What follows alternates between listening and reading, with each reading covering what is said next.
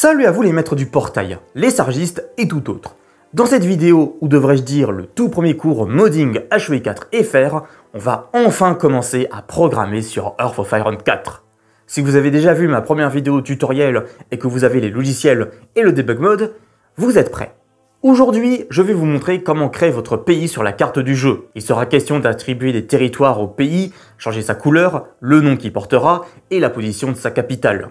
Il y a différentes manières de créer son pays. Vous pouvez prendre un pays qui existe déjà sur la carte, vous pouvez ajouter un pays qui de base est contrôlé par un autre pays en début de partie, comme l'Égypte sous domination anglaise, ou alors vous ajoutez dans les données du jeu un tout nouveau pays en créant son propre identifiant. On va vérifier ces trois étapes ensemble, vous aurez des timelines dans la vidéo en fonction de ce que vous voulez faire. Ok, aujourd'hui on va créer notre pays sur le jeu. Alors, dans un premier temps, je vais aller créer le dossier du mode. Donc, euh, j'ouvre mon Paradox Launcher et je vais dans tous les modes installés. Je clique sur mettre en ligne un mode et je vais créer un mode. Et mon mode, ça sera le Funkyland. Alors pourquoi le Funkyland Eh bien, pour cette série de vidéos tutoriels sur le modding HOI, j'avais envie de créer un mode pour un YouTuber que j'apprécie particulièrement, Funky. Alors, dédicace à toi Funky Fouine et à tous ceux qui le suivent, hein. j'espère que euh, tu regarderas cette vidéo. N'hésitez pas à aller voir sa chaîne d'ailleurs, hein. c'est un mec super sympathique, hein. franchement euh, très, euh, très chouette. Alors du coup, le répertoire c'est mode Funkyland, la version 1.12.12 quand même. Les tags, ça proposera une histoire alternative, il y aura des events, un national focus et sound. Et maintenant, je crée le mode. Voilà. Mon mode a été créé. Funkyland va bientôt naître. Je quitte le Paradox Launcher. Alors j'ouvre mes fichiers. Je vais aller dans Documents, Paradox Interactive, Earth of Iron 4, Mode. Et j'ai mon dossier Funkyland. Le mode est là. Voilà. Je l'ouvre. Je n'ai rien. Mais ça c'est normal. On va les ajouter nous-mêmes. Alors pour ça, on va aller ouvrir notre raccourci sur Earth of Iron 4. Et donc, euh, alors, euh, avant que je crée le pays, euh, le Funkyland, je vais vous montrer deux exemples pour modifier des pays qui existent déjà. Alors, le premier exemple, on va prendre le cas de la Belgique et on va lui donner les territoires des Pays-Bas et le duché du Luxembourg.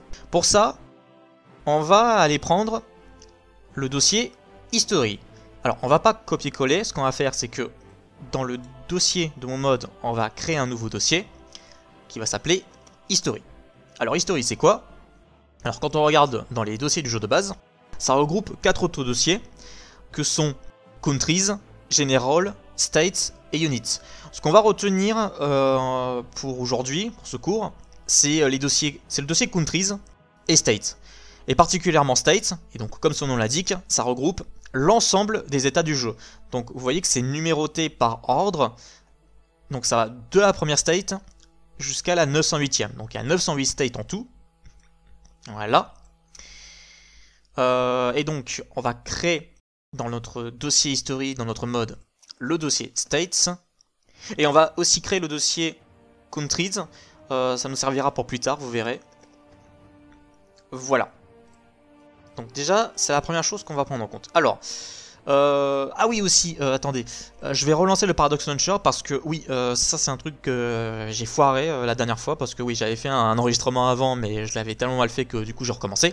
N'oubliez pas d'activer votre mode, donc vous allez dans le Paradox Launcher, vous faites Play Set et là vous demandez d'ajouter plus de modes. Alors je vais demander voilà d'ajouter le Funkyland, je l'ajoute au Playset donc le playset qui s'appelle mods, hein. donc vous vérifiez que vous avez le playset activé mods, hein. peut-être que vous en aurez d'autres, vous avez... à la base c'est initial playset, mais moi c'est mods. Donc dans playset, voilà, et vous le cochez, hein. donc voilà, vous cochez euh, la barre là, donc c'est activé, donc c'est bon, le mode sera activé, bon, pour l'instant il n'y a rien, il n'y aura pas euh, une quelconque modification, mais vous allez voir qu'après, il y aura les modifs une fois qu'on va ajouter euh, nos propres ajouts. Donc on le lance avec le debug mode, et on va regarder ensemble comment on va attribuer les states euh, des Pays-Bas et du Luxembourg à la Belgique. Parce qu'à partir du debug mode, on va pouvoir observer en pointant, en mettant le curseur sur l'état en question, on va pouvoir euh, déterminer le numéro de l'état. Comme ça, on va pouvoir le trouver facilement dans les fichiers. Encore une fois, euh, n'oubliez pas de lancer votre jeu en debug mode et en fenêtré, c'est très important, comme ça, ça vous permet de switch facilement entre euh, le jeu et les dossiers ouverts sur le Visual Studio Code, ça sera très pratique. Ok, alors, dans un premier temps, donc je veux que le Luxembourg soit la Belgique. Alors, donc vous voyez, le curseur il me dit, voilà, province de forêt de l'état de Luxembourg, state 8, province 6583. Donc, c'est l'état numéro 8. Donc pour ça, vous mets deux, voilà. Euh, alors donc ça, ouais, alors à droite, c'est la partie, c'est les fichiers de mon mode, et à gauche, c'est les fichiers du jeu de base. Donc on ouvre State, on fait, on fait un clic gauche sur le Luxembourg, vous faites CTRL C, vous allez là, et vous faites CTRL V. Voilà, donc vous avez fait une copie du dossier. C'est plus intéressant parce que si vous le glissez ici, comme ça, en fait, ça, il va quitter les dossiers du jeu de base et ça va générer des erreurs. Donc, mieux vaut faire un copier-coller, ça sera beaucoup plus simple. Je vais l'ouvrir avec Visual Studio Code. Alors, attendez, je l'ouvre. Je le glisse dans Visual Studio Code. Et voilà comment est présenté le dossier. Voilà, donc ça c'est le dossier du site. Donc là, il y a toutes les données qui sont euh, pour euh, l'état en question. Euh, vous voyez que le programme commence ici et se termine là. alors le truc c'est qu'il est un peu mal écrit, donc je vais le faire plus proprement, voilà. Et vous voyez qu'en fait là, il y a une espèce de, bah, de trait, de, trait de, trace blanche qui part de cette parenthèse et qui va jusqu'ici. Et en fait, ça, vous dit euh, où commence et où termine le programme. Parce que si vous enlevez la parenthèse, voilà, vous avez vu, la parenthèse là, elle est rouge, et ça veut dire qu'en fait, bah, le, programme, le state, en fait, il n'a pas de fin. Et du coup, il faut remettre la parenthèse, et là, c'est bon, ça marche. Alors aussi, autre chose, euh, quand j'y pense, quand je suis euh, sur le Visual Studio Code, alors à gauche, là, vous avez une petite icône de, de feuille qui est explorée, vous cliquez dessus, et en fait, là, ça vous a ouvert un petit espace qui vous fait la liste de tous les fichiers que vous avez ouverts sur le Visual Studio Code. Donc là, bon, ça, tous ces dossiers, c'est les dossiers euh, d'un mode que je travaille en ce moment. Bien évidemment, hein, c'est le, le sargiste spécial communauté. Bref, on n'est pas là pour ça. Donc voilà, donc le nôtre, il est ici, là, le 8 Luxembourg.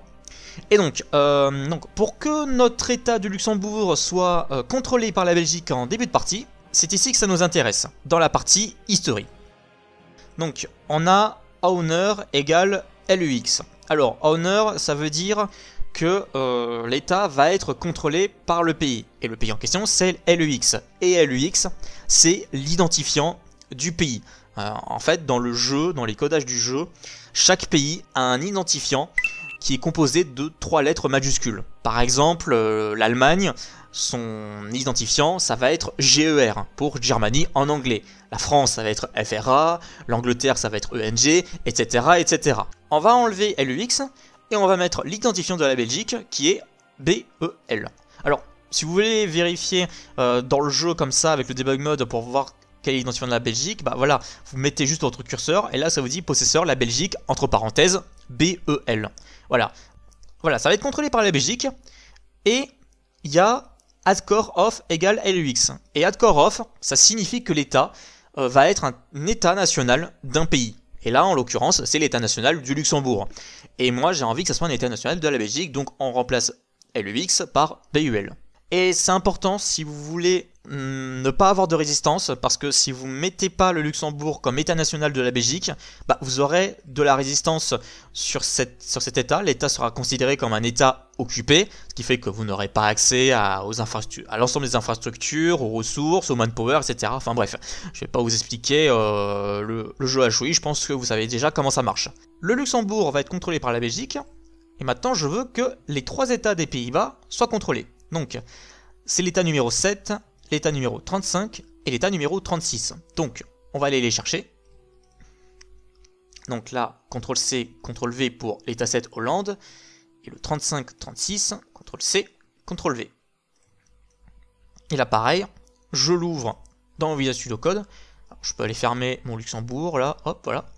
Et là, pareil, on a Owner et Adkorov, donc ça veut dire que c'est contrôlé par la Hollande et que c'est un état national de la Hollande. Donc, on remplace HOL par BEL. Voilà.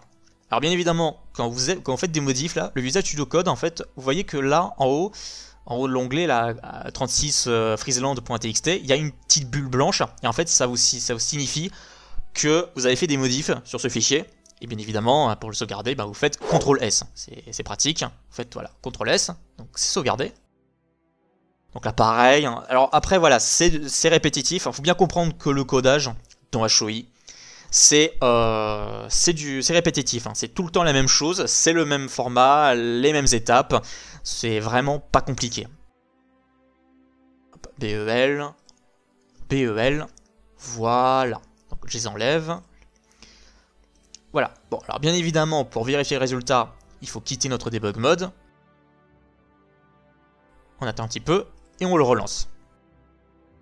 Voilà, donc là, nous avons notre Belgique qui contrôle le Luxembourg et les Pays-Bas. Donc on peut y jouer, et on va aller vérifier si ce sont bien des états nationaux. Donc déjà ce qui est sûr c'est que voilà, en début de game, ça sera contrôlé par la Belgique, il n'y aura aucun problème pour ça. Voilà, donc si on veut vérifier que le Luxembourg c'est bien national, oui, vous mettez votre curseur ici sur le drapeau et ça dit que c'est bien un état national. Pareil pour tous les états euh, de la Hollande. Alors, Là, vous remarquez que ouais, il y a les unités de la Hollande qui sont toujours là parce que en fait, la Hollande, bah, en fait, elle n'est pas encore morte. La Hollande, elle a, encore des, territoires.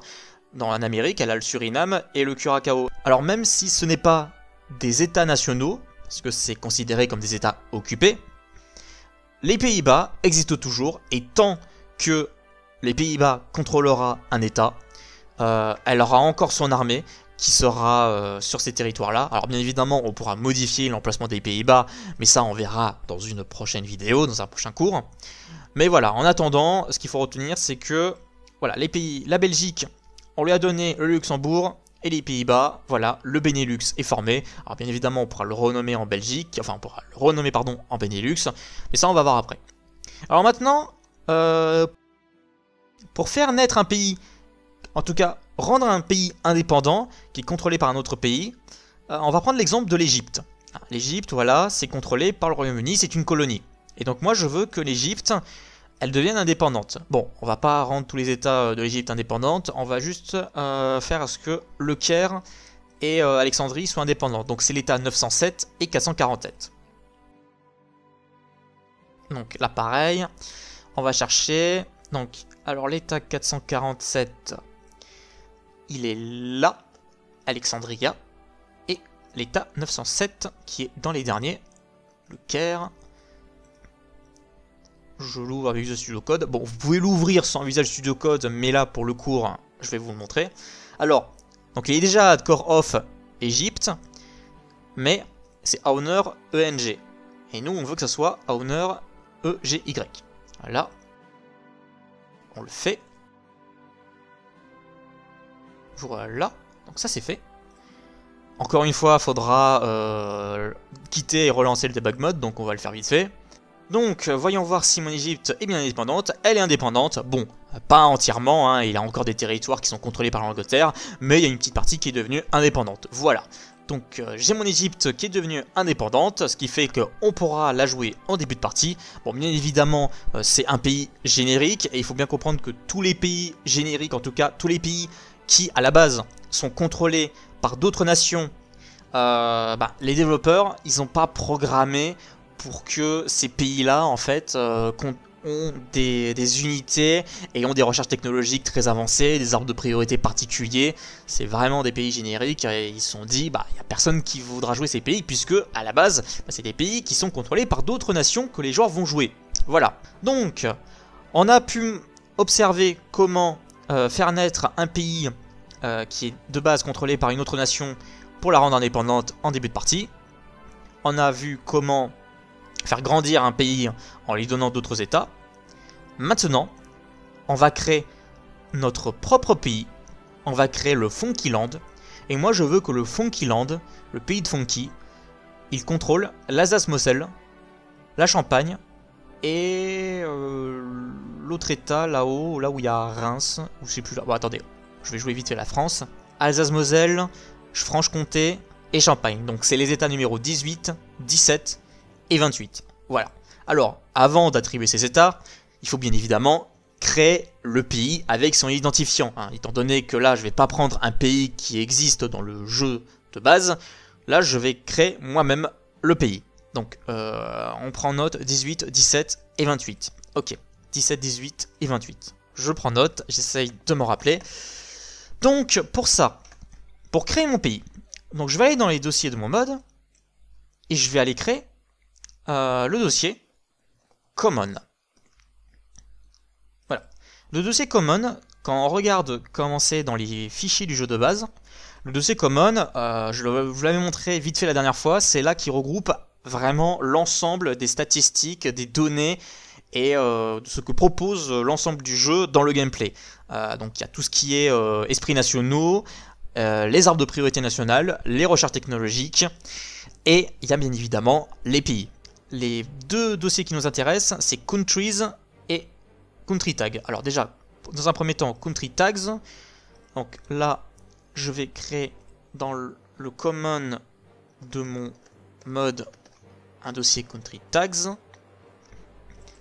Je l'ouvre. Et là, dans le Country Tags des jeux de base, je vais copier-coller le 00-du-bas Countries.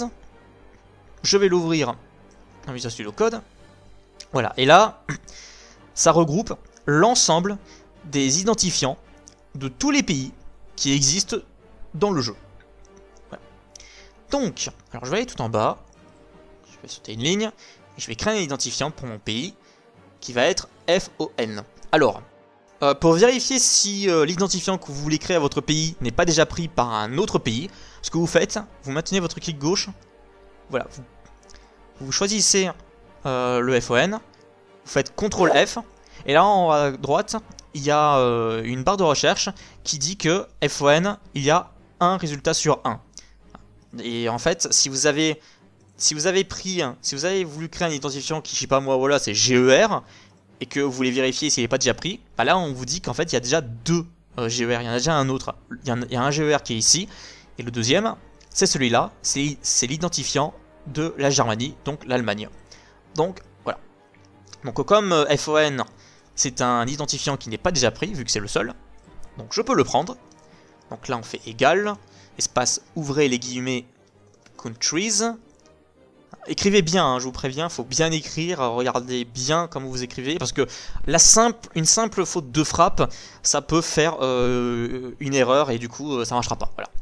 ensuite je fais euh, la barre, je fais funkyland.txt, je ferme les guillemets. Voilà, je sauvegarde, je le ferme, ça c'est bon. Et maintenant, on va créer l'autre dossier qui était countries. Alors, je vais créer mon dossier countries. J'ouvre le dossier countries dans le jeu de base, et je vais aller chercher un dossier qui s'appelle Colors. Voilà, je le prends, copie, colle, et Colors, alors bon, je vais, je, je vais pas l'ouvrir avec le Visual Studio Code, c'est pas la peine, voilà. Alors, le Colors, en fait, ça, c'est les données, en fait, ça va être la couleur de tous les pays du jeu. Voilà, donc euh, vous pouvez le remarquer. Euh, donc par exemple, voilà, pour le pays avec l'identifiant TTS, sa couleur, voilà, c'est couleur égale RGB 230, 230, 0. Donc c'est un code couleur HTML. C'est-à-dire que le rouge, la valeur du rouge c'est 230, la valeur du vert c'est 230 et la valeur du bleu c'est 0. Alors, pour créer euh, mon, ma couleur de mon Funkyland, donc je vais aller sur internet et je vais aller chercher, un, je vais aller dans un site que vous trouverez d'ailleurs dans la description euh, de la vidéo. Je tape color HTML et c'est code couleur HTML. Voilà, c'est celui-là je veux donner à mon pays euh, cette couleur mauve. Donc euh, pour ça, euh, voilà, je vais copier, coller ça, TTS, je fais FON, et là, à la place du 230, 230, 0, je les enlève, je vais taper 80, 17, 115. C'est les valeurs, hein, c'est dans l'ordre, hein, R, G, B, 80 pour le R, 17 pour le G, 115 pour le B. Voilà, donc ça, c'est pour la première ligne. Et c'est pareil en bas pour le color UI égale RGB, c'est pareil, vous mettez la même valeur. Voilà. Donc ça, c'est la première étape dans ce dossier. Et la deuxième étape, c'est de créer un dossier pour le Funkyland. Alors, on va prendre... On va reprendre, on va prendre le modèle de la Belgique avec Belgium, CTRL-C, CTRL-V, on va le renommer, on va l'appeler Funkyland. Et vous devez le nommer de la même manière que vous l'avez euh, nommé dans le fichier countries, c'est-à-dire que là, vous l'avez appelé voilà Funkyland comme ça, et eh ben ça doit être exactement euh, le même nom euh, que celui que vous avez marqué dans le dossier 00 Countries. Donc là, c'est le même, donc il n'y aura pas de problème. Je vais ouvrir mon Funkyland. Je, je vais faire visualisation du code, comme ça, ça sera bien pour les biens de la vidéo. Là, encore une fois, vous avez le color. Alors pareil, là, vous mettez la même valeur, donc 97 115. 97 115. Et là, on a un truc qui s'appelle Graphical Cultures. Alors ça, euh, ça va voir plus tard, mais en gros, ça va attribuer euh, le modèle de, des unités militaires euh, de votre armée. Voilà, imaginons que moi j'ai envie que les unités militaires de Funky Fouine ont le même modèle que les troupes allemandes. Bah en fait, dans Graphical Culture et Graphical Culture 2D, vous mettez GER.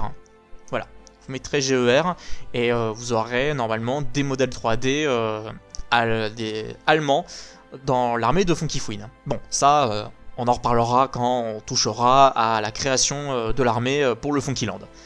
Voilà, donc ce qui est important, c'est que vous avez créé le dossier Funkyland. C'est cool. On revient en arrière, on va dans le dossier History, on va dans Countries. Et là, pareil, donc là je vais aller prendre un autre modèle d'exemple. Je vais aller chercher dans les dossiers du jeu de base dans History Countries je vais aller prendre, voilà, je vais copier-coller le BEL Belgium que je vais renommer FON Funky Land. Voilà. Voilà, donc là, ce dossier, ça va regrouper euh, l'ensemble des données que va posséder le pays en début de partie. Euh, et bien évidemment, euh, c'est en fonction de l'année. Par exemple, là, vous voyez que c'est marqué genre 1939.1.1. En gros, ça va être les données, euh, voilà, les, données de base en début de game si vous commencez le jeu en 1939. Donc, alors, attendez, revenons au tout début. Alors ça, capital égale 6, en fait, ça va vous dire où va se situer la capitale, dans quel état. Là, actuellement, ça va être la capitale, la capitale va être dans l'état 6. Alors, l'état 6, à la base, c'est Bruxelles. Et nous, euh, donc il y avait 7, 18, 17 et 28. Et le 28, c'était l'Alsace-Moselle. Donc moi je veux que la capitale soit dans l'état 28, qui est l'Alsace-Moselle. Voilà, l'état de Funky Fouine sera en Alsace-Moselle. Euh, donc ça, tout ce qui est OOB euh, égale BEL 1936 et le if limit DLC Babudalon, alors tout ça, vous l'oubliez, vous, vous l'enlevez. En fait, tout ça, c'est tout ce qui est armée et technologie, vous supprimez, on enlève tout ça, hop. Ensuite, cette research slot, ça, c'est le nombre euh, de recherches que vous pouvez faire en début de partie. Set stability égale 0.8, ça, c'est la valeur de la stabilité que vous aurez en début de partie. Et 0.8, ça va pas être 8%, ça va être 80%. Si vous voulez que le pays de Funky Fouine commence avec 100%, bah, vous tapez 1.0. Voilà. Donc pour nous, on va dire qu'allez, ça va commencer avec 70%. Voilà. Et euh, cette War Support, c'est le soutien à la guerre, c'est pareil, là, c'est 0.3, donc 30% de soutien à la guerre. On va laisser comme ça. On va laisser euh, comme ça. Cette technologie, ça c'est la liste des technologies que vous avez déjà en début de partie. On va laisser comme ça. Ensuite, on a recrute caractères. Ça, ça, ça, sera pour plus tard. Mais en attendant, vous enlevez tous les recrues de caractères.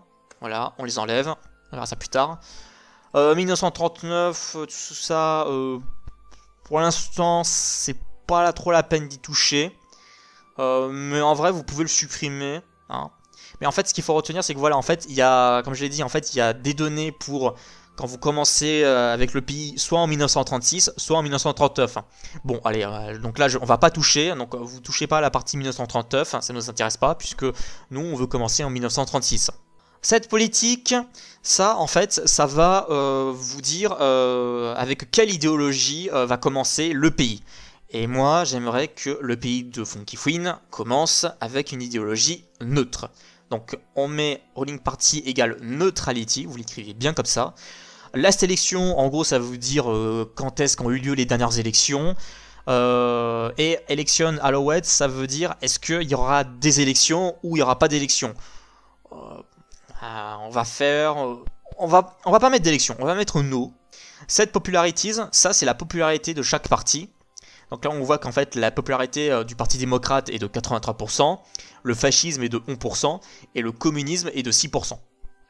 Et euh, vu que mon, pays va être d'idéologie neutre, je vais remplacer les, 80, les 83% du démocrate par neutrality. Voilà. Sauvegarde. Voilà, c'est pareil, là c'est encore une fois, c'est ça c'est aussi en 1939, hein, donc là pareil, je mets euh, neutrality, je remplace aussi la démocratique par neutrality. Et là vous remarquez que ouais, en fait là voyez, le, le Visual Studio Code il me propose de, cliquer sur neutrality, de choisir neutrality, parce que c'est une, une donnée que j'ai euh, utilisée et que je peux réutiliser plusieurs fois avec euh, ce petit raccourci. Donc là c'est pratique. ensuite les derniers éléments, alors ça, cette stability, ça c'est pour l'année 1939 encore une fois. Et on a cette convoi, en gros, c'est le nombre de convois que va avoir le pays en début de partie. Bon là, étant donné que Funky Fouine n'aura pas de territoire avec des côtes maritimes, je lui enlève, il aura aucun convoi. Voilà. Donc ça, euh, c'est fait. Excellent. Ensuite, on va lui attribuer les états. Donc, si je me rappelle bien, c'est state 17, 18 et 28. Je vais aller les chercher dans les dossiers du jeu de base. Donc on a 17, alors il y a le 28 avec Alsace et le 18, voilà. Il y a les deux, hop. Je vais les ouvrir là. Et du coup, ça ne sera plus un territoire de la France, ce sera un territoire du Funkyland. Donc là pareil, voilà, hein, comme tout à l'heure, hein, c'est euh, exactement la même chose. Vous, cherchez là où c'est marqué Adkorov et Honor, et vous le mettez, euh, vous le remplacez par le nouveau, donc FON. Honor, FON, Adkorov, FON. On sauvegarde. Donc c'est bon, les états sont attribués. Et maintenant, la dernière étape, c'est nommer euh, le nom du pays. Donc pour ça, on va aller créer un, le dossier localisation. Donc euh, je crée un nouveau dossier. Localisation.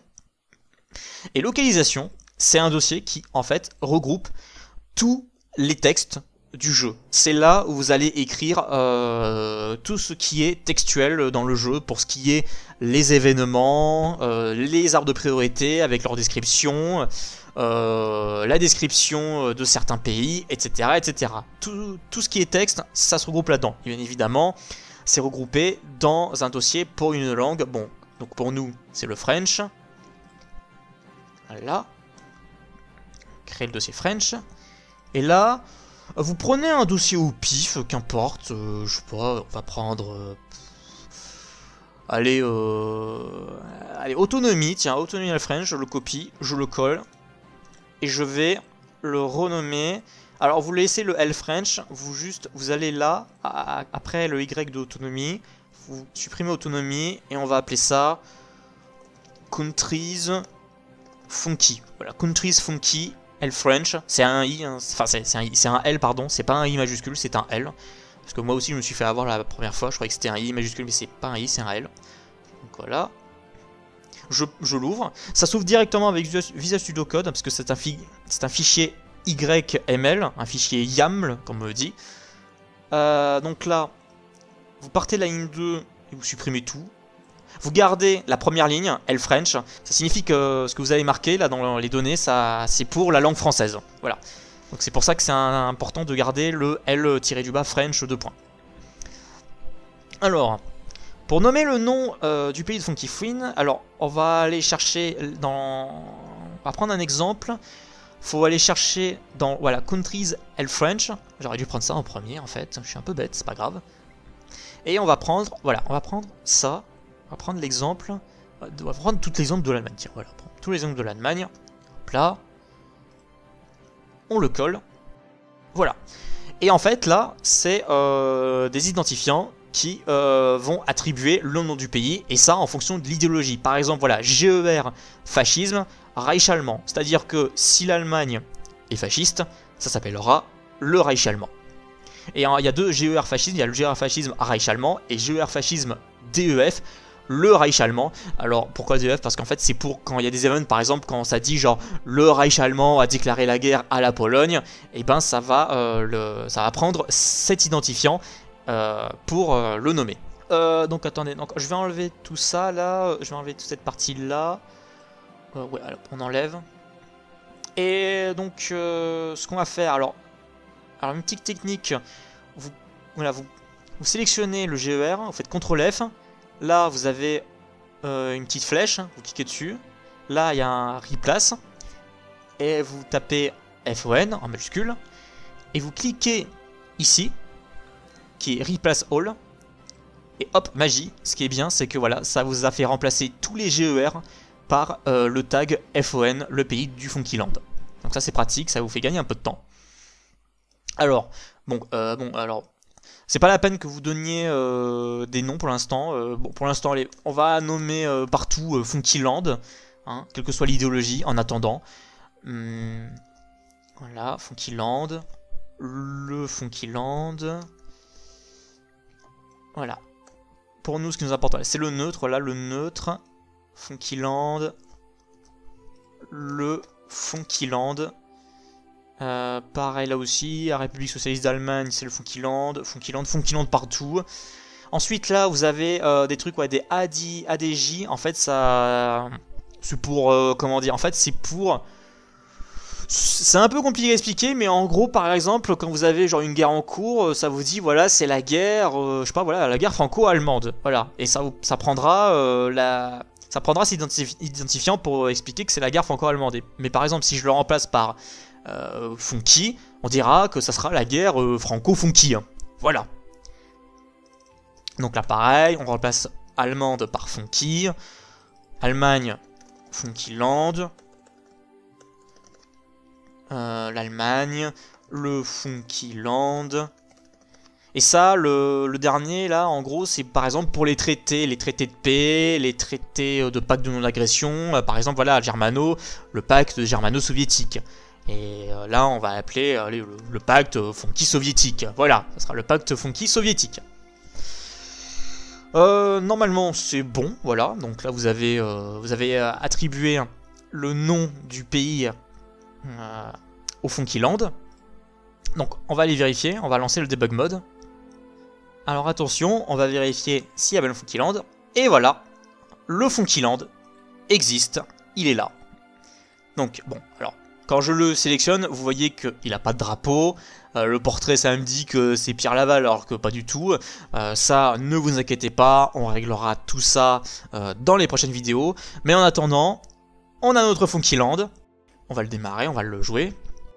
Bon, alors c'est normal, hein, si les troupes françaises sont sur le territoire, ne vous inquiétez pas, parce que de base, il était prévu que ces troupes soient sur ces territoires qui, normalement, étaient français, mais maintenant c'est des territoires pour le Funkyland, c'est des états nationaux, vous le voyez.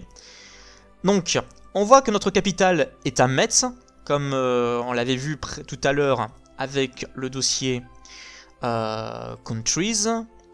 Faut que je le retrouve. History Countries Funkyland.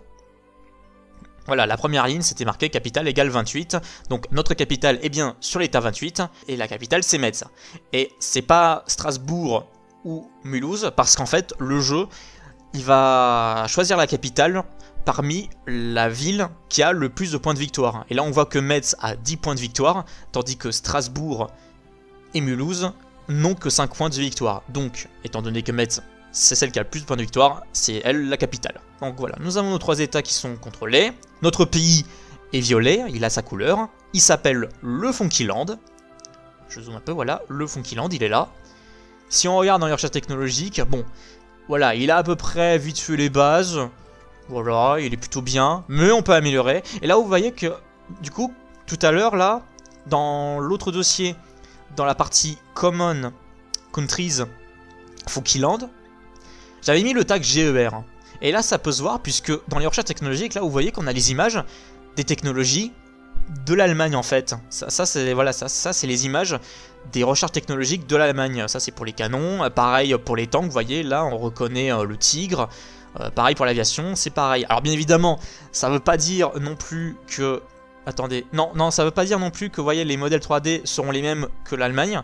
Ça, ça veut pas dire la même chose. Par contre, ouais, par contre, les unités euh, terrestres, là, par contre, elles, voilà, vous voyez, ça va être les modèles 3D des troupes allemandes.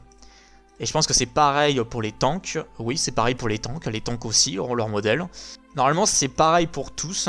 Euh, peut-être pas la marine, peut-être pas la marine et l'aviation. La marine et l'aviation, euh, c'est autre chose. Voilà, là c'est les, les, modèles des, des, pays basiques.